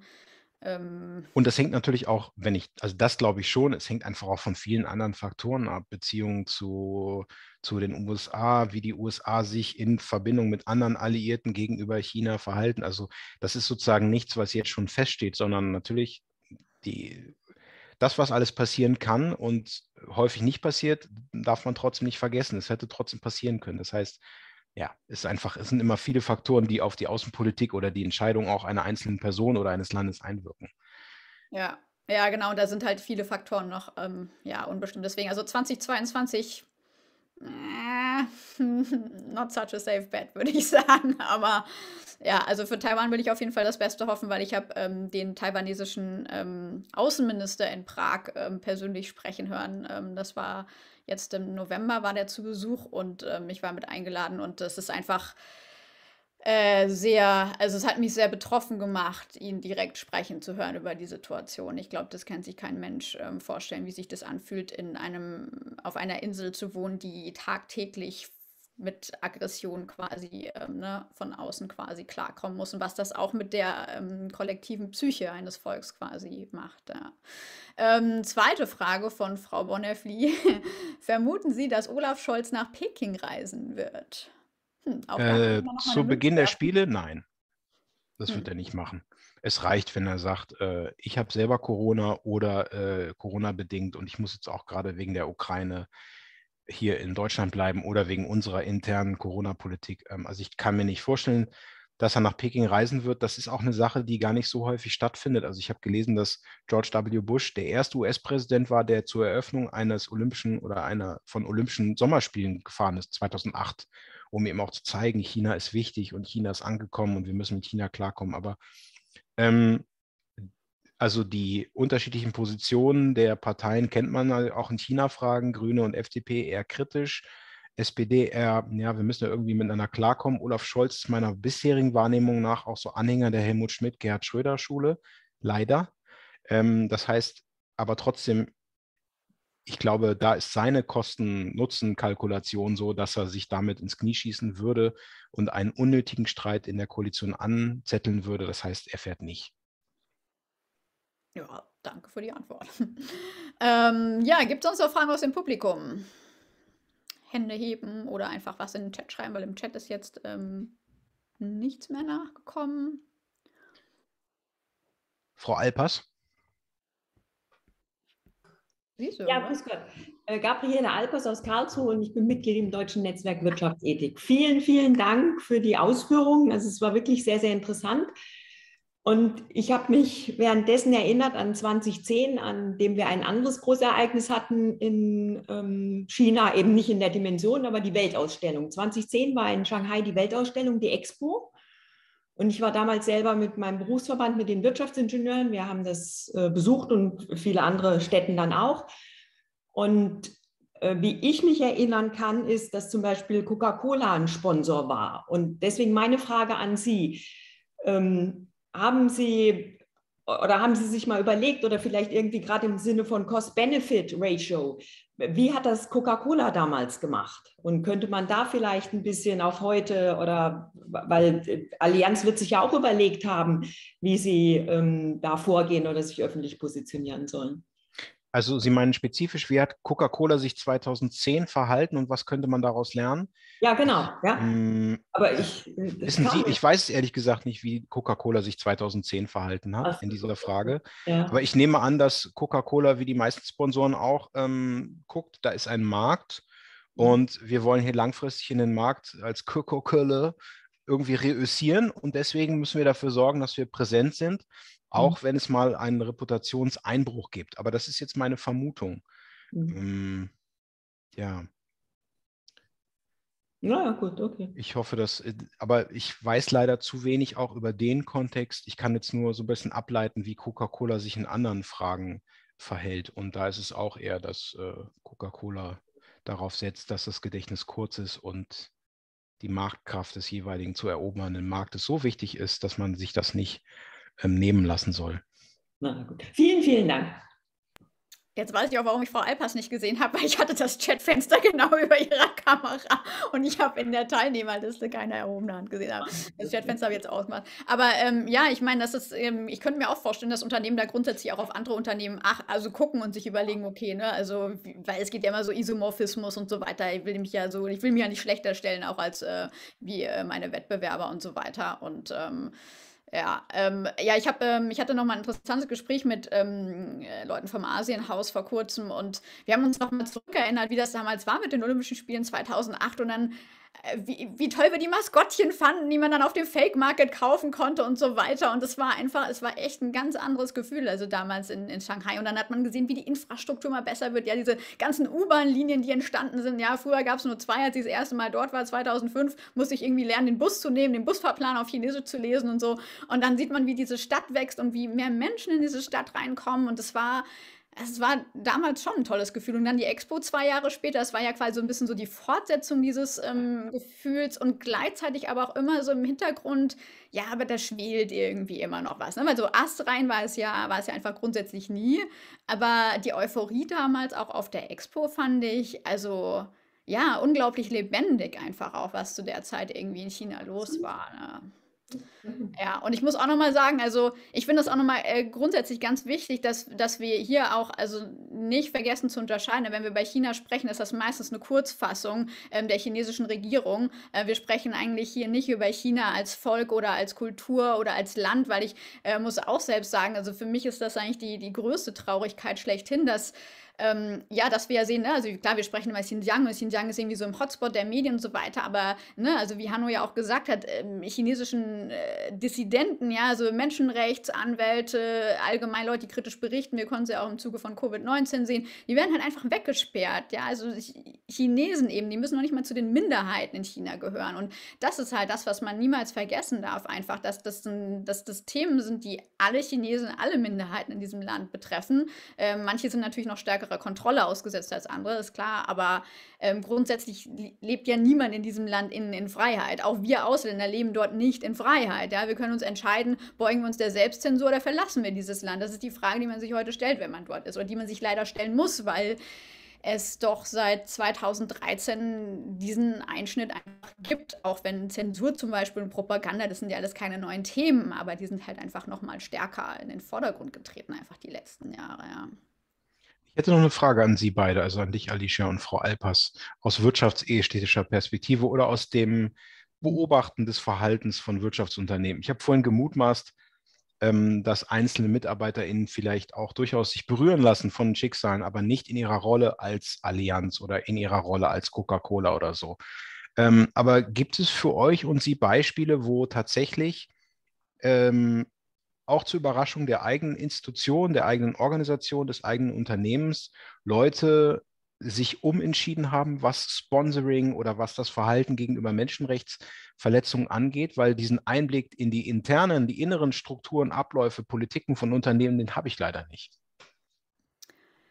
Also zu Menschenrechten fällt mir jetzt konkret nichts ein, aber was ich auch noch aus meiner äh, Forschung und Beobachtung von Banken feststellen kann, ist, ähm, dass wenn da sich der Druck von außen erhöht durch Proteste und äh, NGO-Aktionen, es doch immer wieder in der Vergangenheit zu sehen war, dass Banken sich von gewissen ähm, Projekten zurückgezogen haben aufgrund von einem öffentlichen Druck. Also ähm, ich denke, das ist schon ein Hebel, der passiert. Ob äh, das auf bestimmte kritische Individuen in der Organisation zurückzuführen ist oder mehr auf das klassische Thema, oh, unsere Reputation gerät hier ein bisschen unter Druck und deswegen entscheidet man deutlich weiter oben, ähm, das aus ähm, ja, Gründen von Reputationsrisiko und am Ende dann eben auch einem finanziellen Risiko nicht mehr zu verfolgen. Ähm, das lässt sich natürlich so nicht nachvollziehen. Ich glaube, dazu müsste man wirklich ähm, ja, konsequent mal Interviews äh, führen mit solchen Organisationen, die sich zurückgezogen haben und eruieren, ähm, äh, was war denn da eigentlich so der Auslöser. Also man weiß äh, meist das auch so ein bisschen im Kontext von Whistleblowing. Ähm, wenn Leute sich sehr kritisch verhalten in Organisationen, dann hat man entweder Glück und die Kanäle sind sehr gut und sie werden erhöht, erhört und sie werden ernst ernst genommen. Es gibt aber genauso gut Organisationen, die sowas versuchen, intern massiv zu unterdrücken. Und dann bleibt dieser Person eben nur noch übrig, die Organisation zu verlassen und ähm, dann drüber zu sprechen. Und das sind auch nicht, also ich meine, ähm, klar, Julian Assange ist jetzt so ein prominentes Beispiel. Es geht natürlich auch da um Militärgeheimnisse, aber ähm, es gab immer wieder Whistleblower, auch von der Citibank damals und so weiter. Und wenn man deren Geschichten anhört, dann weiß man, die hatten eine unglaublich harte Zeit, sich Gehör zu verschaffen, obwohl sie schon die Organisation verlassen hatten. Also mit der Unternehmenskultur und dem Unternehmensgeist steht und fällt die Akzeptanz von kritischem und, und Denken, was jetzt nicht quasi dem, äh, dem Grundtenor der Organisation entspricht. Und ich sage es mal so, wenn eine Unternehmenskultur gesund ist, oder, ja, dann sollte das auch möglich sein, solche Themen zu adressieren und vorzubringen und dass sie auch ernst genommen werden auf höherer Ebene. Aber äh, wir wissen auch von, von Organisationen, dass das nicht überall der Fall ist, ja. Mhm. Mhm. Mhm. Was meinen Sie, Frau Albers? Ja, ich bin gerade am Überlegen. Und zwar, ich habe viele, viele Jahre mit Herrn Woller zusammen haben wir die ähm, Seminare Unternehmensethik äh, geleitet in der Uni Karlsruhe KIT für die Wirtschaftsingenieure. Und da bin ich gerade am Überlegen, ob wir dort nicht mal irgendwelche Beispiele hatten, aber mir fällt gerade nichts ein. Aber wie gesagt, es geht natürlich immer um die Unternehmenskultur, wie, wie sie es eben schon ausgeführt hat. Es ist ähm, mit eine große Frage der Unternehmenskultur, also wie wir einfach miteinander umgehen und welche Kodizes auch herrschen. Ja. Und daher, aber ich, ich müß, müsste da nochmal, oder wenn der Arthur Wollertz gerade parat hat, ich weiß es nicht, er hat ja damals auch den ähm, Kodex für Personalmanager gemacht. Von daher, ich, also ich, ich, ich muss noch am überlegen, ich bin noch am überlegen. Wenn mir was okay. melde ich mich. Ich glaube, wenn, wenn ich diese Frage mal kurz aufgreifen darf, äh, es gibt Unternehmen wie beispielsweise Adidas, die ein, ein explizit Human Rights sozusagen Beschwerdemanagementsystem auch für Mitarbeitende etabliert haben oder versuchen über seit Jahren es wirklich zu etablieren und, und wirksam zu machen. Es gab und gibt Unternehmen, wie beispielsweise auch ähm, ABB oder auch GAP, die sehr stark auch unter dem Einfluss ihrer Mitarbeitenden schon vor rund, rund ungefähr 15 Jahren angefangen haben, Themen wie Bribery und bei GAP wie eben das Thema Kinderarbeit ähm, eben anzugehen und versucht haben, damit konstruktiv umzugehen. Und das stand also bei ABB, weiß ich es, in, in der Schweiz sehr stark auch unter dem Einfluss der Mitarbeiterschaft, die halt natürlich auch konkrete Probleme hatte, wenn sich unter ein Unternehmen äh, so positioniert, bestimmte äh, Menschenrechtsverletzungen oder Themen wie Bribery konstruktiv angehen zu wollen und beispielsweise definiert, dass wir bezogen auf Bribery eine Null-Toleranz-Politik führen, aber natürlich viele Mitarbeitende im Außendienst hat, deren alltäglich Business es ist, äh, einen Container durch den Zoll zu kriegen, indem sie dem Typen am Zoll halt mal eben 50 Franken in die Hand drücken. Ja? Und sie wissen genau, wenn sie das nicht tun, wird ihre Umsatzzahl sinken und ihre Umsatzzahl ist wiederum die Zahl, die matchentscheidend ist für den Bonus, den ich am Ende des Jahres erhalte. Und verdammt, ich habe mir gerade ein neues Haus gekauft, was ich abbezahlen muss. Wie muss ich als Mitarbeiter mit diesem Konflikt umgehen? Das heißt, solche Themen wurden durchaus auch aus Eigeninteresse heraus in einigen Unternehmen sehr stark auch durch Mitarbeiterschaften transportiert. Ja. Am Ende des Tages hat es bei ABB natürlich auch dafür gesorgt, auf einmal war ABB immer in der Presse negativ wegen Bestechungsskandalen. Aber das ist natürlich logisch. Wenn ich anfange, mich mit dem Thema transparent auseinanderzusetzen, sorgt das halt auch dafür, ich stehe jetzt im Wochenrhythmus in der Presse. Wenn ich natürlich meine Geschäftspolitik wie im letzten Jahr fortführe, heißt das Deckel drauf und kein Mensch kann dazu was sagen. Also das ist natürlich ein, ein durchaus schwieriges Problem für manch ein Unternehmen und war auch schon vor zig Jahren ein großer Lernprozess, der da absolviert werden musste und wahrscheinlich immer noch absolviert wird. Spannend. Ja, richtig spannend. Aber Entschuldigung, dass ich dazu reingekrätscht bin. Nur ähm, die Frage war so konkret jetzt. Aber ich finde, ähm, ich finde, das ist auch mal sowas, was man in der Wirtschaftsethik sehr gut sieht. Also Papier ist geduldig und nur weil ein Unternehmen nach außen hin äh, diverse Verpflichtungen, ne, ich meine, das wissen wir ja alle, da angibt, die, die Verpflichtungen sind ja teilweise, also ne, da kann man sich so ganze Listen dann angucken und denkt sich so, naja gut, aber was ist dran in der Praxis? Ne? Daran, da, da, da scheidet sich dann die Spreu vom Weißen letzten Endes ähm, weil hinschreiben kann jemand erstmal alles und wie gesagt, aufgrund von, von Wettbewerberdruck machen dann Leute auch eben, also gehen für mehr Verpflichtungen ein, weil die natürlich diesbezüglich nicht hinterherhinken wollen oder zumindest so wahrgenommen werden möchten. Ja. Mhm. Ja, wenn jetzt keine weiteren Publikumsfragen mehr sind, dann sind wir, glaube ich, am Ende. Ich hätte doch eine ganz kleine Sache, die äh, ich noch anbringen will. Also jetzt auch in den nächsten Tagen Frage diplomatischer Boykott oder nicht. Man kann sich ja auch entscheiden, hinzufahren. Nur wenn man hinfährt, dann muss man eben auch was sagen. Und das wäre deswegen, wenn Herr Scholz nach Peking reisen sollte, was glaube ich unwahrscheinlich ist, dann hätte er eben auch die Möglichkeit, auf der erweiterten Welt Weltbühne seine Stellungnahme zur Menschenrechtslage in China abzugeben. Aber ich nehme an, dass er da kein Interesse dran hat. Also es gibt, es gibt viele Wege tatsächlich, um sich zu äußern. Und eben von dir am Anfang angesprochen, Silent Complicity. Man kann vielleicht nicht verhindern, dass diese Lager weiter existieren, aber man kann überlegen, wie man sich dazu stellt. Und das ist eben, könnte auch eine der Lehren, die wir aus unserer deutschen Geschichte ziehen könnten, wenn wir uns damit befassen würden. Ja, also für mich ist das auch vor dem Hintergrund der, der speziell deutschen Geschichte halt auch wirklich ähm, ja, ein Thema einfach, weswegen wir hier in Deutschland insbesondere nicht wegschauen sollten. Aber ich glaube, da wird ähm, äh, in, in, Bezug auf die China-Beziehung zwischen Deutschland ähm, und eben der chinesischen Regierung wird Litauen, glaube ich, auch nochmal der Lackmustest. Also daran wird ja. man auch sehen, ähm, inwiefern ähm, Deutschland sich zur EU klar positioniert oder eigentlich eher zu China. Also da, das bleibt auch weiterhin spannend, finde ich, ähm, die Situation dort einfach. Ja. Ja, dann. Ja, vielen Dank. Danke an Sie und euch. Vielen Dank für die Teilnahme. Nächste Woche geht es dann weiter äh, mit unseren Regionalperspektiven. Und ähm, ja, ich freue mich wieder über einen guten Austausch und ähm, entsprechende Diskussionen.